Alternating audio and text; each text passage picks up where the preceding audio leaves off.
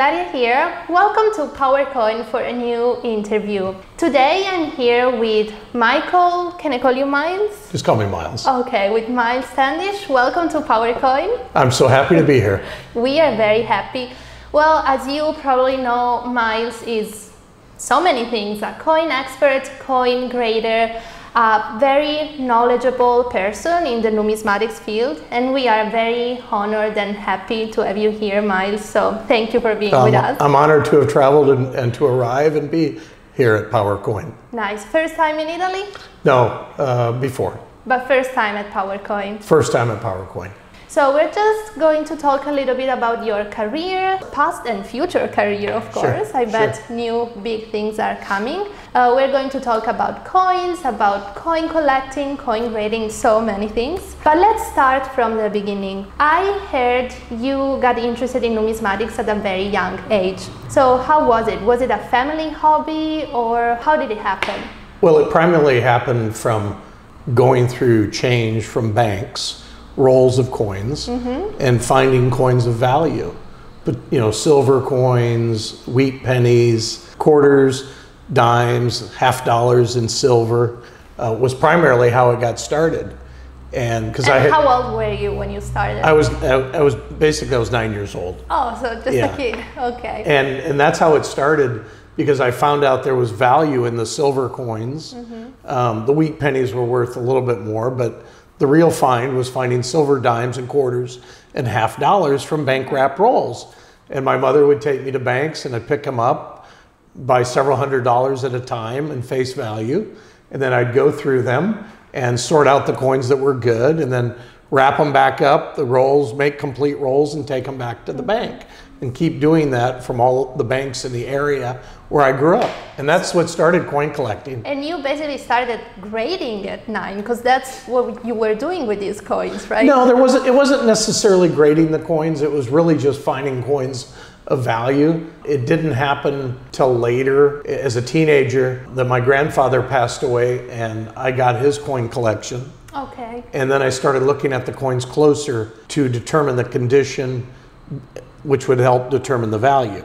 And so it that's when it really started. And then uh, it just kept moving on and snowballing along from there. That I would be more and more interested, and I I just never lost the interest. So you were the first full-time coin grader at NGC, right? No, I was the first time coin grader at PCGS. Oh, first you started with them, yeah, right? Yeah, I, I started at, um, at PCGS in the fall of 1986 and worked there until two, uh, the fall of 2015. And then I joined NGC. How do you grade a coin? What's the process? You have a coin in your hand, and then what happens? Well, yeah, you know, um, you want to properly look at the coin in the right type of lighting, the right conditions. So do you use like special lights, or is it natural light? No, there's there's no windows in the grading room. Okay. And there's no fluorescent light. There's only incandescent lighting. Okay. is the only thing that typically graders use. Uh Um, a 75 watt light bulb is the maximum that's needed. Um, it's it's not too light, it's not too bright, it's just right. Okay. and um, to determine the condition of the coin and the authenticity, because you have to determine that the coin is real before you grade it, Right. or it doesn't make sense to grade it. So you have to, you know, with with vintage coins primarily, you have to make sure that it is a real coin So what are your tools? Do you do you use any tool besides You know, um, some things that you want to look at closer, you might use a five power magnification. Um, really, in, in, in a high degree of many instances, nothing more is needed than maybe a five power magnification. Maybe it, maybe a little bit higher to look at a mint mark to see if it was added or to check something closer on the details of the coin. But um, five power magnification can can you can accomplish a lot of work done Of with just that. Yeah. There's, there's less magnification involved than people think, Mm-hmm. um, with an exception of maybe looking at a, a modern coin, which using a five power magnification, if you can't see anything wrong with it, it's a 70. Okay. Seventy is the highest grade. Right. 70 is, is the perfect grade in either proof 70 or mint state MS 70. But the determination of the grade um, is from a lot of experience. All coin graders that work at the grading services have a number of years of experience, and um, so that there's a, a standard by the grading service to adhere to to follow. You know, a grader knows that when he sits in the chair, that it's his job on a daily basis to adhere to the standard of the grading service and grade the coins as humanly possible correct mm-hmm. as they can.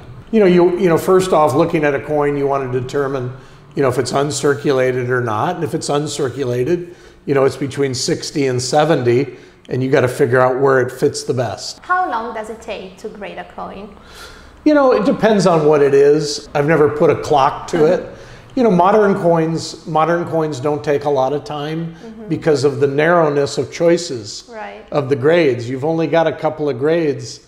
You know, typically if you're working with a very good mint, uh, the quality of the coins that are exceptional, you know, make the coins really nice, make the job easier for the coin grader. Because he, he only has a couple of choices. Where if you take an older coin, uh-huh you might have, you know, circulated or uncirculated, where it may have had some contact marks or abrasions. So you have 60 to 70 with those coins. But with a lot of modern coins, you typically only have, you know, 68, 69, and 70, and that's about it. What do you prefer doing, old coins or new coins, modern coins? Well, I, you know, I've spent a lifetime of looking at coins. Um, and I've graded all the world's great rarities, all the the half million dollar, the million dollar, the multi million dollar coins. I've done that. The reason that I've always liked the modern coins is I believe that it increased the amount of collectors in the world today. And that's why I was so far, far, I was lucky I was ahead of myself because nobody really thought like I thought about modern coins that it would grow the interest of the world to collect more coins. Not just modern coins, but some collectors get interested in the vintage US and world coins. Mm-hmm. So I felt like my efforts expanded the marketplace. How many coins do you think you've graded in your career? Over 10 million. Wow. Yeah. That's a lot. Yeah. Okay. Well, you've been in the industry for a very long time. What do you think is the biggest change that has happened in, in modern numismatics and where do you think this industry is headed? Also considering the new technologies, but also the new way of selling coins, like we have e-commerce like PowerCoin or selling on social media. So what do you think is, is happening? Well, one of the reasons that I created the modern coin market is I believed in roughly, let's go back to about 1995 to 98. Okay. During that period of time, I said more coins in the future will be sold at the time I said the internet. But what I was saying was really that means the internet, social media, yeah, all types all types of visual aids yeah. and television and that is what people would be buying is what they see well and what looks great. And that's why at the grading services, the label at the top. But before, they were very bland. They were very just, you know, they were white and they were blue. But I created all the graphics that started happening that you see today. Mm-hmm. That's from that's from basically 1998. And if I'm not mistaken, you also introduced the autographs. yes, the, exactly. Yeah, most people didn't understand what I was trying to do, but I was trying to I was trying to make two collectibles an authentic autograph of a significant person that may relate to this coin, and it would attract not just coin collectors, but autograph collectors. So I figured again, I was trying to grow the marketplace. Yeah. I always called that the double play of collectibles, and that is you can bring autograph collectors into the coin market and vice versa. Uh, nobody knew that's what I was thinking, but that's really what I saw. Now it's, I've always said great ideas morph into better ideas. And then I started hiring former mint directors of, mm-hmm. of US and world mints, Australia, Africa, United States former mint directors because those mint directors were important when coins were made at their mints. In the United States, many times a coin is issued from the US Mint with a facsimile autograph of that mint director. And I thought it would be great to have an authentic hand signed autograph by that mint director. So when they retire and leave the mint, I was able to hire them to sign for autographs. I think it's seven or eight mint directors, confirmed mint directors and non confirmed mint directors that I've brought into the market to sign autographs. they're delighted because they never knew they were going to get to do that. Right. So I've made them very successful by doing that and brought them into a marketplace that they didn't know they would do after they left the mint. That's very interesting. What would you say to a person who is new to this world and just wants to start a collection? I always suggest buy what you like. Don't you don't need to buy what people tell you to buy. You know, if you look at a nice modern coin that you like or a vintage coin, buy what you like. But before you do that, you know, you want to work with a dealer that is a trusted dealer that um, he he's very active in the business.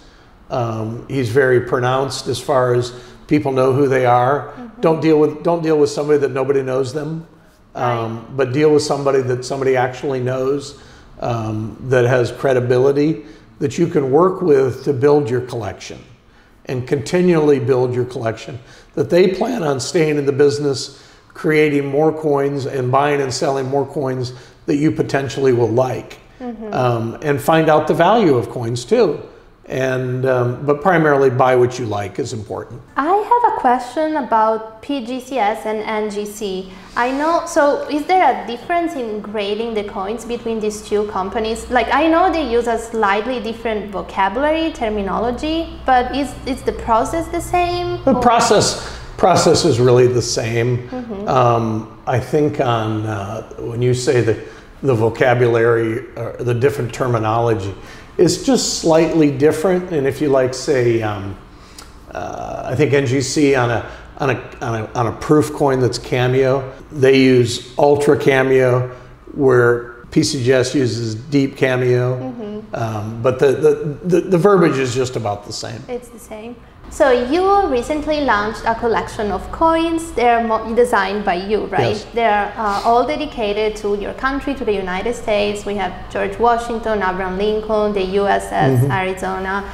Are you planning on designing more coins? Yeah, I've uh, I've designed now over 50 coins, and um, I'm grateful for the opportunity to design coins that people are loving, that they like, Yes. and I'm very pleased with that. So that makes me very excited to keep going. Okay. Um, it won't just stop with the United States coins. It will be world coins, and it'll tell the story of the world. Anything that I've ever designed will tell the story or have a connection to the rest of the world. So even though I've started with US coins, um, I'm working on projects in the future that'll go outside of the United States. Okay. we can't wait to uh, see them. Because like I said, I like bringing more and more people to the marketplace. Mm-hmm. So I hope that there's Italians because I've designed things that relate to Italians coinage, Right. or Asian coins that relate to the whole world market of Asia or the Middle East or South America. I want to draw everybody into coin collecting like I always have. And I've been very consistent that way since, you know, since So- time began, I've been trying to draw people into collecting coins from all over the world. So that's what you're still up to. That's that's that's what you want to do now. That, that is one of my projects. Um, you know, I've written two best-selling books. I know. And are you writing a new book? Um, I am. I- Okay. I, am. I am. And that, um, I'm very excited about that because it really is a book that nobody's ever done before. Okay. Which, even though I've had two other books, the first book that I did was on American Silver Eagles, Uh-huh. which is a best selling book. Uh, it was a runaway bestseller and it's in its fifth, or heading towards its fifth edition.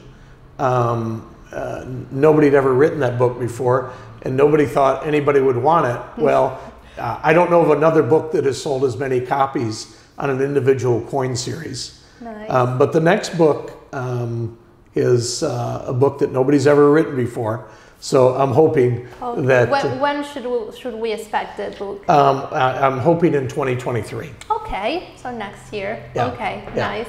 What is numismatics for you? Do you see it more like an investment or like a hobby and a passion or both of the things? Well, I think you have to have passion for anything that you collect. I think anytime that you buy gold and silver, it is an investment. It depending on what degree. You know, somebody might buy one coin because they like it and that's all they wanted. That's it, yeah. But some people buy lots of coins. I think that uh, each individual person is different. Personally, for myself, I buy what I like, but the other part of it is preservation of my wealth, in that it's maintained in numismatic gold and silver coins or platinum. Um, those three metals primarily for me, but that's the next part, which is extremely important to me. But I'm different. Everybody else could have a different opinion of what they look at. it Oh as. yeah, of course. How did you get to know PowerCoin? A mutual friend introduced us, and uh, I got to know Antonello in uh, in Chicago at, at the American Numismatic Money Show. This was 20, 2019. I got to meet uh, Antonello at the show, and uh, we've been building a relationship through through the last three plus years. So Nice. And now you're here. and I said, and I and I said if I get to Europe that I would come to Italy and I would visit PowerCoin. So here I am. you did it. Yep. Nice. Now, do you want to play a game? Okay. Okay, I have some coins here and I'll just show them to you and you can just tell us what is your first impression, okay? so let's start with this one. Oh my goodness. This is our baby cyborg. It's Baby Cyborg Project. Yes. That has to be one of the most unusual colored coins I've ever seen. I have never seen a coin with this color. It's the first time I've seen it because she would you wouldn't show me the coins before we started taping. No, no, no, absolutely. But no, this is um, obviously it's a very beautiful coin with the child, and and that means a lot to me. Well, this is part of a series that it's called Cyborg Revolution. This is the second release, and the, the series tells a story about this alien cyborg coming to the world. They contaminate the water with like nanorobots. I mean, it's a story made up by us, so. It's a science fiction story. Yes, and they want to transform all human people into cyborgs. And the transformation is complete when the first baby cyborg is created. So this is the number two coin. We have three more coins coming in the next three years. So this is a series on science fiction. yes, And what that reminds me of is that you have a numismatic coin, which attracts coin collectors, and you have a science fiction coin that attracts science fiction fans. So it's a lot like what I've done in the past That's with true. autographs, where I brought autograph collectors and coin collectors together. Mm-hmm. You're doing the same thing at PowerCoin with a series like this. It's very lovely, very interesting story. Thank you. but I think the science fiction background of it, I think there's there might be more science fiction fans in the world than there are even autograph collectors. the end of this story, but I'll tell you later because I can't tell to everybody the end of this story, but it's incredible. So I can't wait for 2025 for the story to end so everybody will know how this ends. Very interesting. Thank you. I have another one. So this is the new coin, zebra. Oh boy. That's incredible. Now, that is the zebra going through the field or the water. So that's up to you. For the coin designer, it was water. But for me, I see this zebra walking like in a golden field. yeah, golden field of wheat even Right? even though so we don't know if it that depends, but that's nice because you can see whatever you want on this coin. That's incredible. I like it. It's a great visual coin. You can look at it straight on, but it's good to look at it s- straight down. And it's phen- phenomenal looking design. You know what it is right away. I think collectors are really going to enjoy this. This is a new series. We just launched it on Friday, and we're already working on the next coins. And I can imagine. I can imagine all. If it's going to be animals, I can imagine Yeah. the phenomenal animals that'll be there. And wait, let's. Oh, okay. This is another animal on a different Oh. perspective. Boy, I'll tell you what. kids are going to love this. Yes. Kids are going to absolutely love this. But it's it's like a it's like a, a coin and a toy at the same Yes. time. Beloved building blocks. That's the name of the series. well, this is an exciting coin. Kids are going to love this. But And also, I mean, actually, adults too. Yeah, I feel for 'Cause I want everybody. what, what other series? If this is a series, I want them all. yeah, I don't want one. coming. We'll show Is this later. is this five ounce silver? This is a five ounce. Yes. It's it's incredible. Another one. Okay. Ooh, what is the name of this? This is Dark Checkmate. The, the design wants to take you into a chess game with the Grim Reaper. Um, so it's like you are sitting in front of the Grim Reaper and you're playing. There is an inscription saying you can't cheat death. I didn't. See, I can't see it. Yeah, it's it's on the with the capsule. It's hard to see. We're not getting out of this alive. Very interesting. This is quite a lot of an imagination. Again, we are working on the second coin of this one. We're so excited, but I can't say things unfortunately. and we have the last one, Moses. Ah, This is Well- part of the Eternal Sculpture series, but we ended the first Eternal Sculptures. This is the first one of the second Eternal do Sculpture. they all have this format? a different diameter, a different weight, and also the, there is a different finish on the design on the statue. Uh, the previous one had like a white finish, it really looked like marble, but we wanted to do something different for this one, so we used this silver finish. It's gorgeous. This, this, this to me is old art that's fabulous. Thank you. Is this a two ounce or a three ounce? This is a three ounce. Uh-huh. Yeah, the previous one was two, and for the new one, we decided to change the weight. Okay, so thank you for playing this game. So I have one more question for you. What do you see in the future of numismatics? Well, I think that um, right now is the biggest it's ever been as far as collectors. And I think there's a continued thirst from collectors to add more coins to their collection, but also the expansion. The expansion because social media, um, because of the internet, the expansion of the marketplace has grown so much, and it, I feel like it's going to continue to do so. And the number, you know, not just the fact that people get involved because they like coins, but people in general like to treasure hunt. Coin collecting is kind of like treasure hunting. And everybody loves the story of, you know, finding a sunken treasure. And I've certified sunken treasures. I mean, I've been involved in the grading of coins that have come out of treasure ships. So, but I think that I think coin collecting is like treasure hunting, and I think it is in a lot of people's DNA to find something they want and mm-hmm. desire that has exclusivity, rarity. Right. You know, availability is difficult.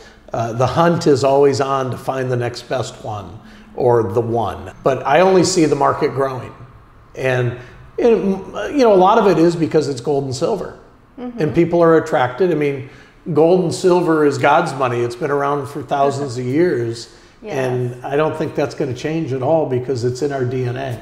But you think this is the best moment so far for numismatics? Well, it's the biggest. You know, uh, the marketplace has only grown. I mean, there's more collectors in the marketplace today than there was in 2000 or 1990 or 1980. This is 2022, and there's more collectors now than there's ever been. Do you think young people are attracted to numismatics, to That's- collecting? That's the biggest change.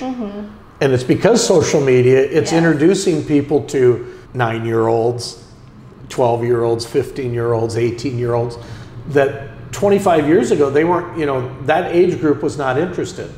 20, 20 year olds or 15 year olds weren't all that interested in coin collecting. Maybe because of the state quarter program in the United States that started out in 1999 brought some of those people in, but social media has been the number one factor of bringing more and more people in to buy gold and silver coins and get interested in numismatic coins. Absolutely, I agree. Okay, Miles, thank you for your time. Pleasure. It was really my pleasure. Well, I'm so delighted that I could keep my word and come to PowerCoin when I got to Italy, and I'm having I'm having a great time. Well, thank you for watching this interview. Don't forget, collect, invest, enjoy. Ciao. Ciao.